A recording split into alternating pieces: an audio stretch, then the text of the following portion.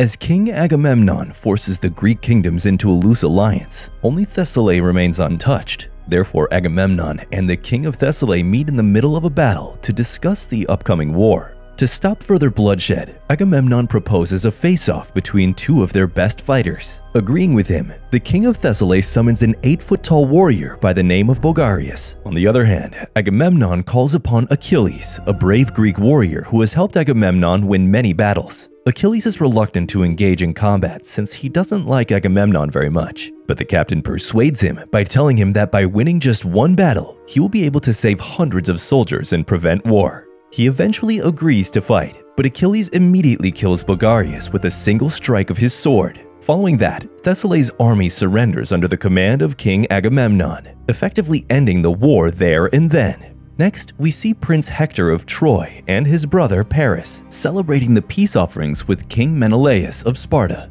During their stay in the kingdom, Paris begins a romantic relationship with Queen Helen, who is the wife of King Menelaus. The two speak upstairs during the celebration and become intimate with each other. Hector, who disapproves of the affair, cautions Paris that he does not want to jeopardize the peace that their father fought so hard to establish. The following day, as they're returning to Troy, Paris tells Hector that he snuck Helen into the ship. Seeing this, Hector gets very angry and decides to send Helen back, fearing that it might lead to a war. But Paris persuades him to continue their trip to Troy, arguing that he cannot abandon her now. When Menelaus finds out that his wife has disappeared, he meets with his brother Agamemnon and asks him for his help in capturing Troy to take revenge. Agamemnon also agrees because he understands that capturing Troy will give him the authority over the Aegean Sea and also increase his strength. He discusses his plan with his troops, who tell him that Troy has never been conquered before. Agamemnon also understands that Achilles will be necessary to help him win the battle as he's the greatest warrior in Greece but the problem is, Achilles is not someone who is easily persuaded.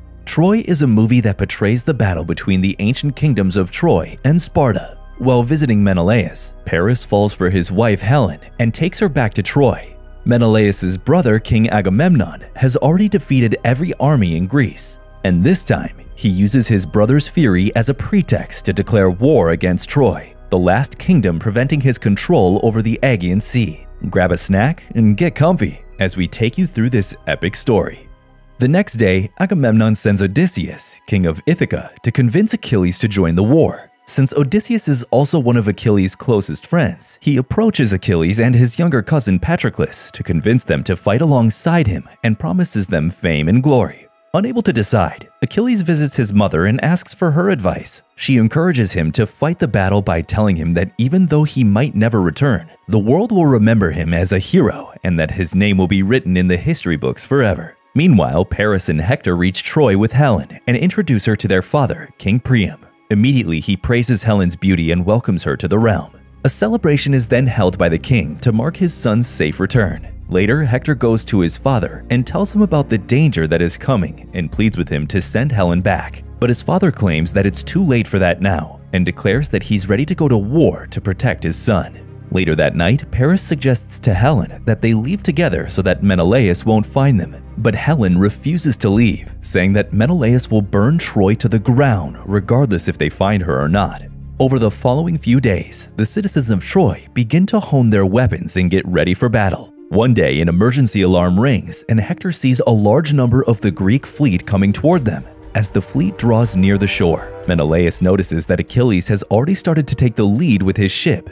Achilles' cousin Patroclus wants to take part in the fight, but Achilles orders him to guard the ship instead, saying he's not fully trained. Meanwhile, Hector, who is also one of the most skilled warriors, gets ready for a counterattack and gives the order to bring the citizens inside the city walls. As soon as they're on the ground, Achilles and his army of Myrmidons form a formation to kill the archers and head toward the Apollo temple. Despite Hector's best efforts, Achilles manages to overpower his troops. Soon after, Hector shows up at the temple and demands that Achilles fight him solo. But Achilles tells him to leave and return the next day. As Achilles conquers in his first battle, the Greek army starts chanting his name. This enrages King Agamemnon and Menelaus as they feel it could undermine their authority Later, the captain of the Myrmidons informs Achilles about Hector's cousin and the priestess named Briseis, whom they've captured from the Apollo temple. When Achilles approaches her and tries to speak with her, she accuses him of killing the priestess and declares that God will exact revenge on him.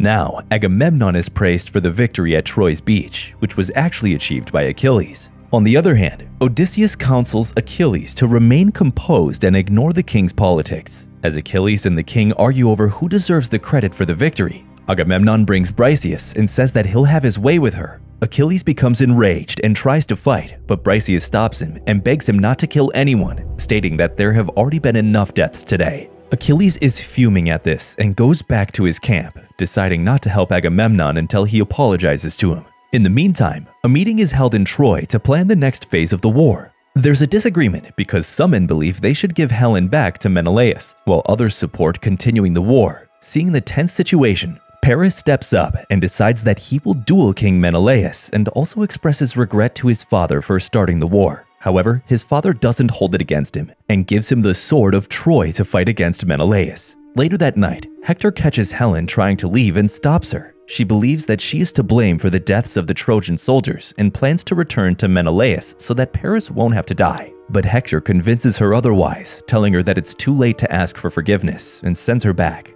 The next morning, the commander informs Achilles that the armies have begun to march toward the city, but he refuses to go and orders his men to remain behind unless Agamemnon apologizes to him. Then, the Troy army is on guard at the gate as the Greek army approaches from a distance. As Helen observes the assembled armies from a distance, she apologizes to King Priam for starting the war, but he assures her that it's not her fault and invites her to sit down. Meanwhile, Agamemnon offers them one final opportunity to surrender, but Hector rejects him, saying that Trojans will never accept his rule. Then, Paris challenges Menelaus to a duel, pledging that the winner will take Helen home and immediately put an end to the war. Menelaus also accepts the offer to claim the city no matter what happens. Moments later, Menelaus and Paris start the duel, but Paris gets hurt soon after and immediately crawls to Hector. The pact is now broken, and Menelaus asks Hector to let him kill Paris, but Hector immediately kills Menelaus to save his brother. This angers Agamemnon, who then declares war and orders the Greek army to march forward. Hector boldly fights in the battle and ends up killing the Greek king Ajax, while the Trojan army is helped by the archers from the city walls. On the other hand, since Achilles and his army didn't help this time, the Greek forces become weak and are routed with heavy losses, forcing them to retreat.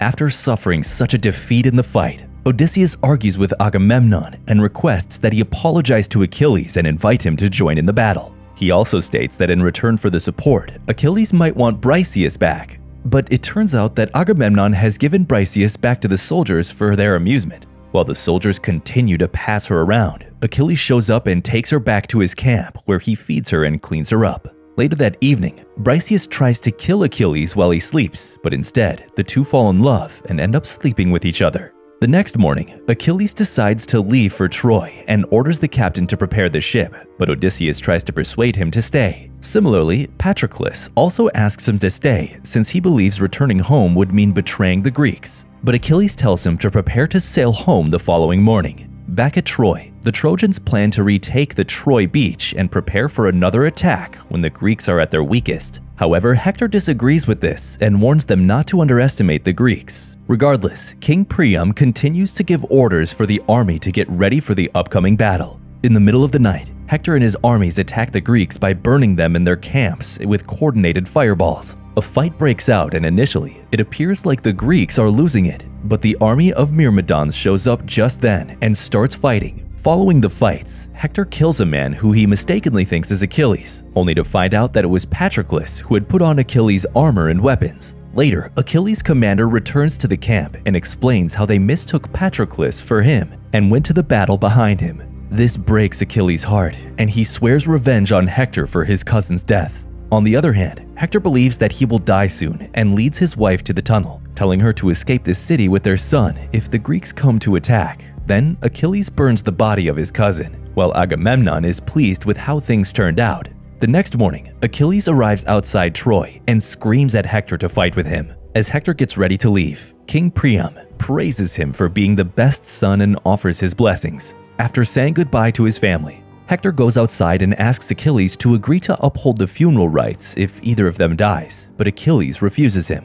The fight begins and both of them fight bravely, but Achilles eventually kills Hector. He then drags his dead body back to the beach as Hector's family looks on helplessly. Later that night, King Priam shows up at Achilles' camp and begs him to return the dead body of Hector so that he can be properly buried. Filled with shame and regrets over how things turned out, Achilles agrees and sobs over the dead body of Hector before returning it. As Priam informs him that the funeral ritual lasts for 12 days, Achilles says that he will give him 12 days of peace before he starts fighting again. After finding out that Achilles has promised 12 days of truce, Agamemnon gets enraged and plans to attack right away as the Trojan soldiers will be vulnerable now without a leader. However, Odysseus is fed up with the entire situation and devises a final strategy to end the battle. Twelve days later, when King Priam and his men step outside the city walls, they discover that a plague has killed many Greek soldiers. The remaining have sailed home and left a wooden horse as a peace offering, Although Paris and the commander plan to burn the horse to the ground, the priest views it as a trophy of victory and advises bringing it inside.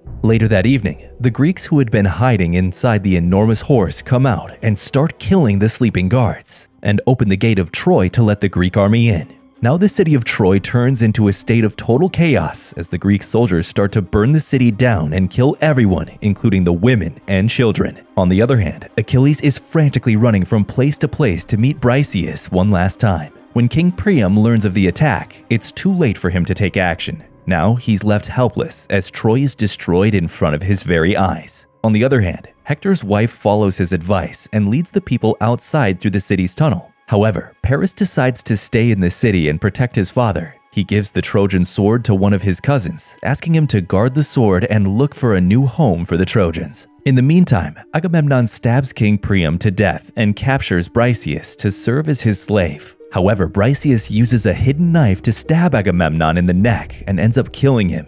Then, the Greek soldiers try to attack her, but they are killed by Achilles, who has come through the city to meet her. The reunion is short-lived as Paris shows up and shoots Achilles with arrows, while Briseis begs him to stop. Achilles tries to fight back, but the arrow in his foot slows him down, and he's eventually shot to death. As he takes his last breath, he asks Briseis to leave the city, saying that everything will be okay. The Greek army finds him shortly after, horrified to see their greatest warrior lying dead. The movie ends as Troy is finally conquered by the Greeks and a funeral is held for Achilles. Odysseus cremates his body and honors the great warriors whose names will live on in history for fighting in the Trojan War. Did you find this story interesting? If you did, check out this video now.